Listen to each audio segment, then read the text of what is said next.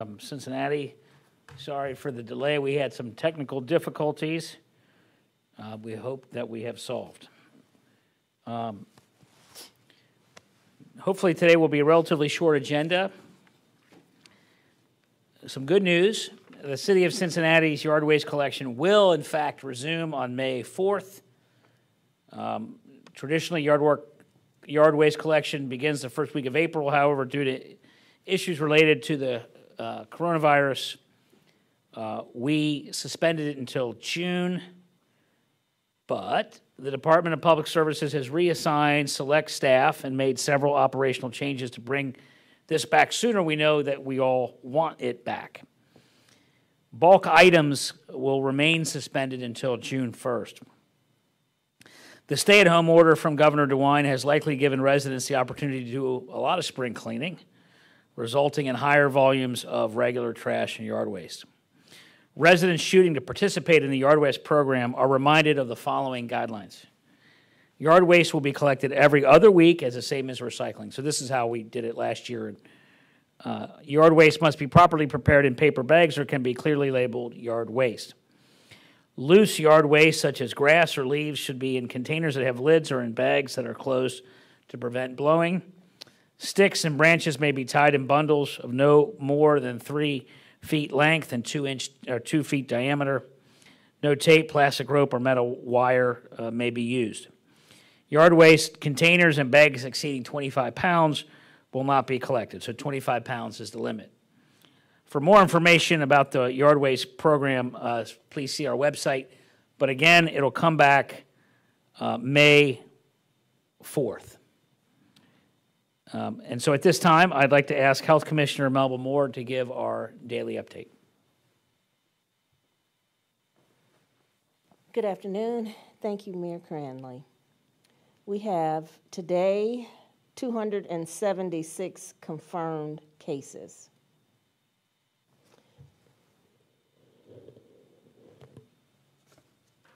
One hundred and thirty-six of those cases are male, one hundred and forty are female. There are currently forty-two individuals hospitalized, 18 female, 24 male. I'm sorry, 18 male, 24 female. Eight confirmed deaths, five male, and three female. And we have a total of 98 individuals who have recovered. 54 male, 44 female. Total deaths is eight. And we have a turnaround time of two days for our test results. In our health centers, we have tested a total of 70 individuals. 12 are positive, and seven are pending cases. Of that breakdown, we know that 13 are male, 38 female, and that's up counting the 51 that are negative. As it relates to the positives, we have seven females, five males. Racial breakdown for the positives four black, six white, one unknown, and one Asian. Just to run through the state numbers, there's a total of 12,516 confirmed cases of COVID, 491 deaths, 798 ICU admissions. The median age is 51. Total of 2,653 hospitalizations. That's all I have for today. Thank you, uh, Commissioner Moore.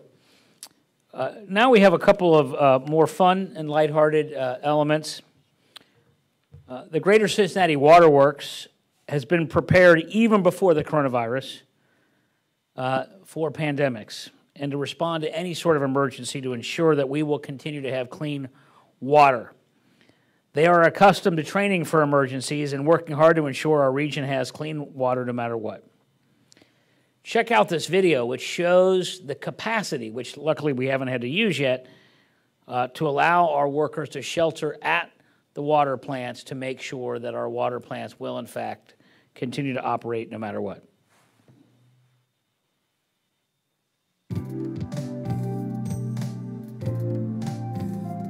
Hello, I am Kathy Bernardino Bailey, Executive Director of Greater Cincinnati Waterworks, and I'd like to speak to you today about how we are maintaining our operations here at the water utility as we plan for a worst case scenario.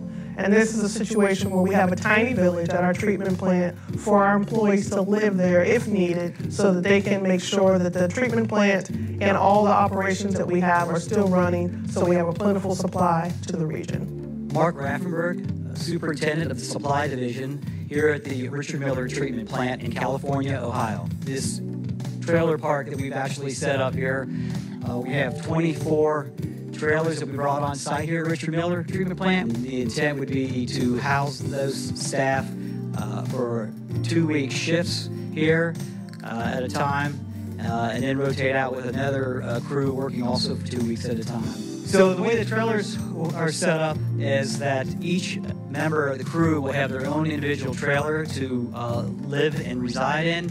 Um, they've uh, each trailer has been set up with blanket, pillow, inflatable mattress, towels, set up a safe space to, and clean space to, to live. We had to run, figure out a way to run power uh, to each and every one of these facilities for both air conditioning, heat, and lighting, and any other uh, needs that the individual may have. As you can see, we are prepared. We're prepared for the day-to-day operations, but we're also prepared for worst-case scenario. And so it's important to let everyone know that, that that is the case for us. And our leaders certainly allow us to, to do everything that we need to do in the utility. So I want to thank Mayor Cranley, certainly want to thank uh, City Manager Duhaney, all the employees at Waterworks for everything that you're doing um, and continuing to do to make sure that we have a plentiful supply of water in the region.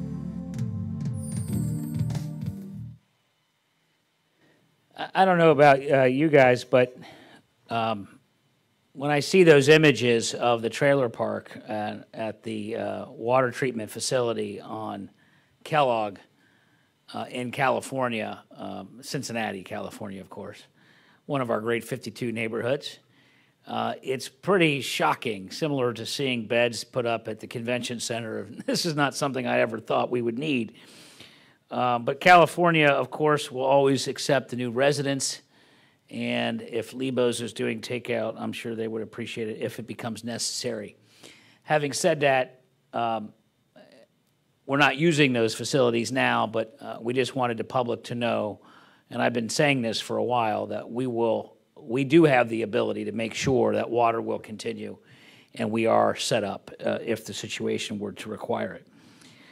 Now, moving on to even more lighthearted fun, uh, we are still going strong with the stay at home challenge. We have two videos today to share.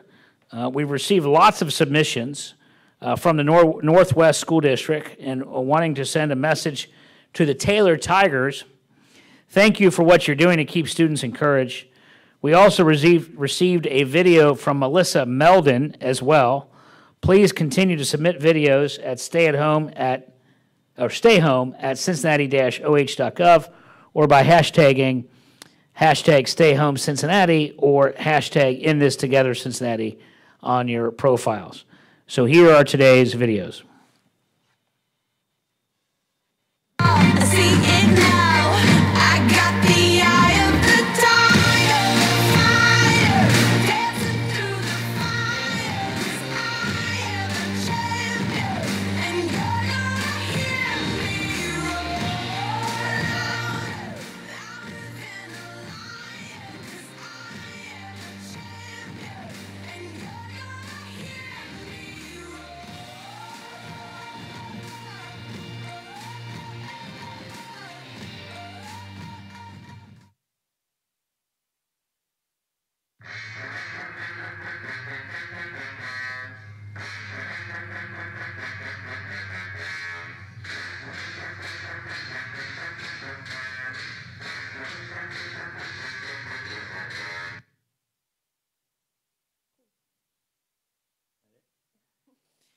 Right. Well, that was great. Thank you for the spirit. And um, I can't help but think of our uh, Bengals and hope that they'll be playing in the fall when I see all those Tigers. Um, and uh, just friendly reminders to consider giving to our United Way General uh, Greater Cincinnati Foundation Fund by texting RAPID to 91999. And with that, I'm happy to take any questions. Uh, do we have any questions today from uh, Channel 5, WLWT?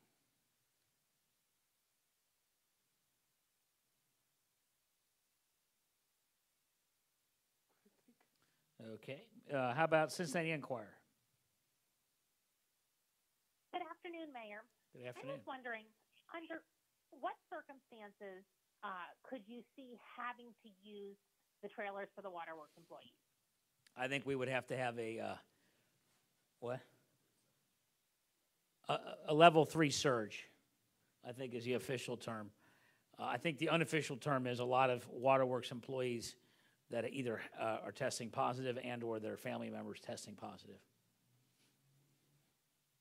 Have any waterworks employees po- tested positive? Not yet. Nope, not at this time.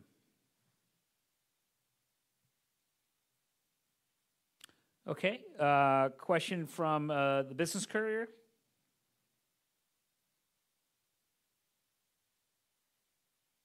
Mayor, uh, with the May 1st date to start to reopen the state, I'm curious whether you think Cincinnati and Hamilton County are ready to start reopening. And if so, what do you think are the first things that can open back up?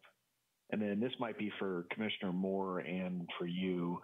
Do we have enough testing to capacity to, to make a, a reopening possible at this point? And then I have one other question after that.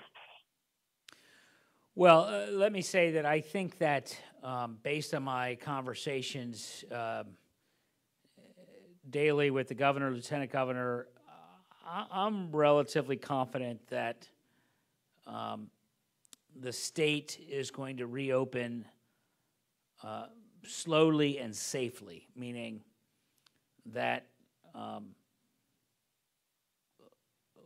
you know it's it's going to prolong the economic pain. Uh, but uh, I don't think there's going to be a radical opening on May 1st. I think that uh, manufacturing and things of that nature that have a protocol in place and a plan approved by the state to be able to operate safely in, uh, with physical distancing and masks and gloves and things of that nature will be allowed on, on a rolling basis to open up. Uh, I, I think we're all anxious for those guidelines uh, to be very clear, so we're not giving people misinformation. But I think that, uh, that the state will continue to follow the, the best medical uh, opinions and science uh, going forward. I, I do think, big picture, two additional things are necessary. Um, unfortunately, until there's a vaccine, the way we do work is going to change essentially permanently until such time we have a vaccine. Um, and so going back to work, whether it's quick or slow, is going to be very different than what our life was like uh, two months ago, uh, at least in the state of Ohio. The second uh, thing is absolutely we need more tests. Um, and I, I don't hear any disagreement uh, about that from uh, the state, uh, and I hear it everywhere across the country um, that if you, the best way for us to reopen this economy is to have mass testing, mass contact tracing, and isolation of people that are sick. And so um, it doesn't mean that is the way we're going to reopen uh, on, in the state of Ohio, but that is the way we should reopen. And, uh, and I candidly believe that the state belie- agrees with me on that. The unfortunate fact, though, is that the tests can only ramp up if the reagent, which for those of you who don't know what that term means, which I didn't know what it meant a couple weeks ago, it's a liquid, and I'm not a chemistry major, but basically, when you take a swab from somebody, you take it and put it in some sort of laboratory petri dish or whatever, and you add this liquid, which they call a reagent, and somehow it does its magic, you know, smoke comes up or whatever, and then it tells you whether you have COVID or not. Uh, I'm simplifying. Um, that liquid is necessary to, to the test. And it needs to be mass produced and mass manufactured. And I, know the governor, myself, and everyone, uh, everyone else I know at the local government level has called for the federal government to, uh, I don't know if it's Dow or DuPont or whoever, or whatever chemical company would make that thing, needs to be told to make it uh, in mass quantities as soon as possible. All right, is there a question from WVXU? Uh, Mayor, I was curious with the city facing a, a difficult budget for the new fiscal year that starts July the 1st.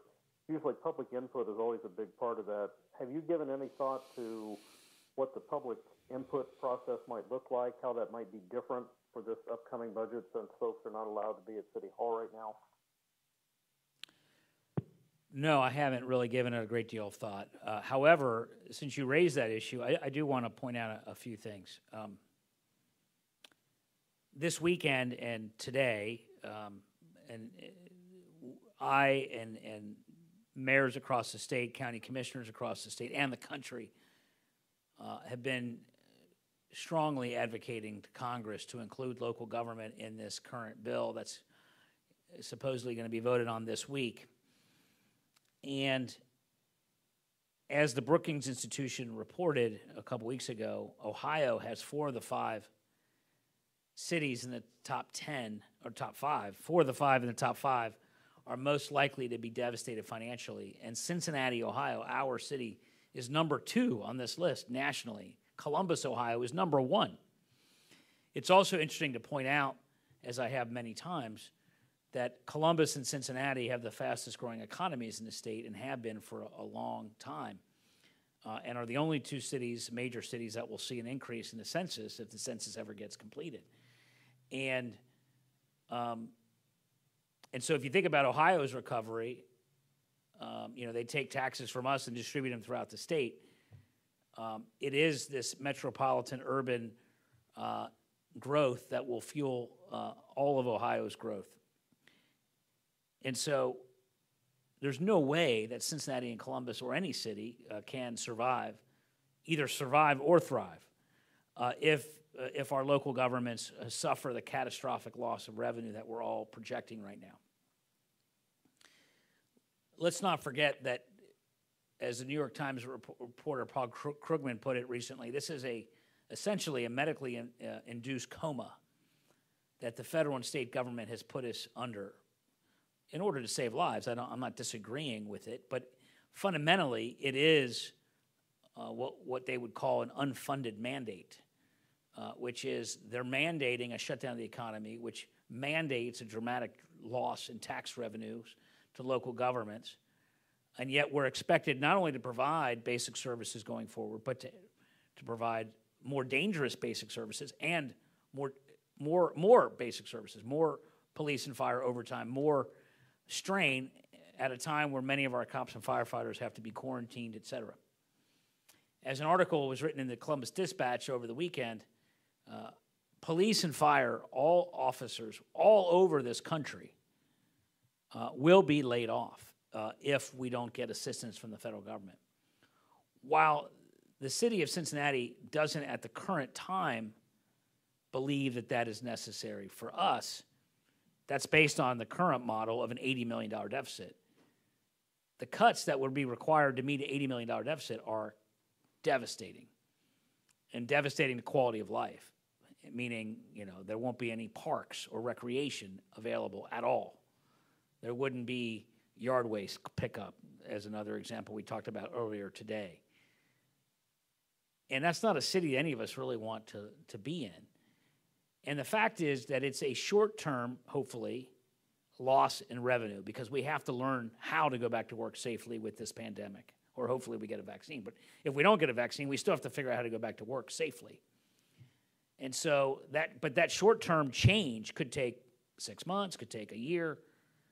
Uh, and, and, the, and, and so the federal government is essentially ordering us to do these things. The difference is they can print money and we can't print money. And so we want to emphasize over and over again, and for those of you at home looking for something to do, in addition to all the other help that small businesses need, et cetera, the food banks need. If you want to live in a community that still has good basic services, police, fire, parks, recreation, please email Congress and our senators and ask them to include uh, the city local government fund, which is not just for cities but for counties. And in fact, the deal was struck over the weekend between the U.S. Conference of Mayors, the National League of Cities, and the county uh, commissioner organization, NACO or something it's called. That's the acronym. I don't know what exactly what it stands for, but the equivalent of the U.S. Conference of Mayors for county commissioners, whatever that's called. They cut a deal this weekend to make a joint request to Congress and to split the money up fairly on a, pro, on a per capita basis between rural, suburban, and urban counties and cities all across this country. Everyone needs it, Ohio in particular. And we really, really hope. Um, we spoke to Senator Brown this morning. We spoke and reached out to Senator Portman multiple times over the weekend.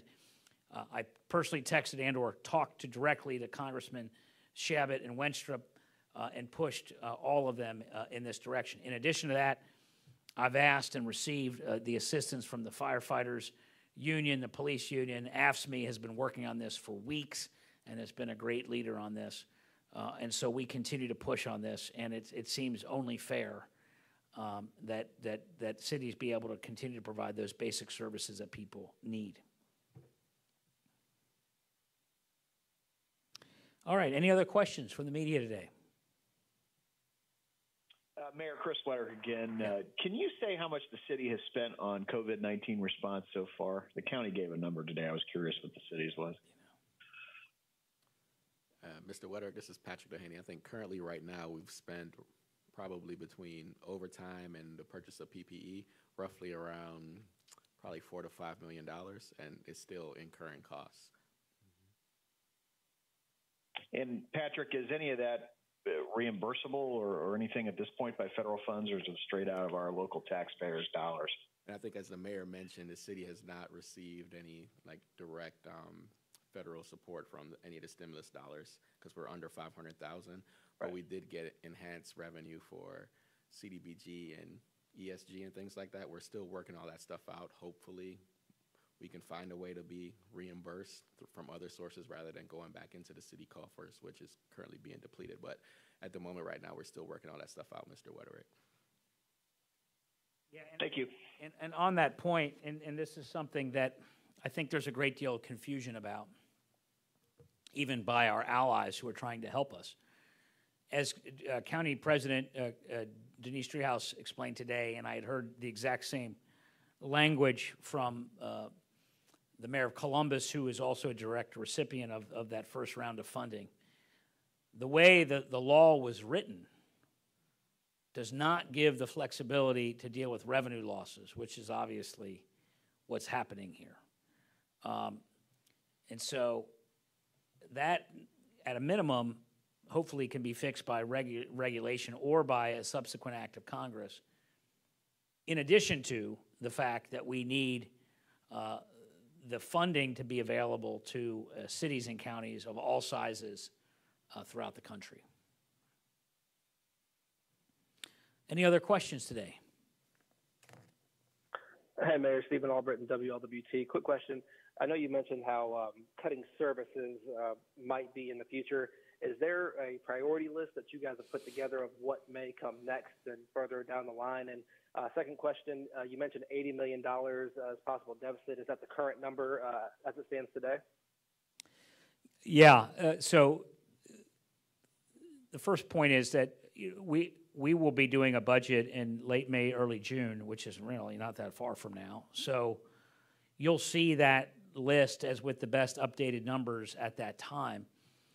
Uh, obviously, as we've stated a number of times, the, uh, the things that we believe we must and should do uh, are police, fire, um, sanitation, which is garbage collection, um, clean water, sewer services, you know, are obviously vital to a society and uh, will be our highest priorities. Uh, but there are many other things that are basic quality of life of cities, like I mentioned earlier, park and rec, uh, that uh, we would not be able to fund if we were to absorb the entirety of the $80 million projected deficit. And candidly, an $80 million deficit, if it becomes to fruition and we don't have any other options to deal with it, would impact police, fire, uh, sanitation uh, in a variety of ways. Whether or not that's layoffs is to be determined and, and, and hopefully not likely, but there will be diminishment of those services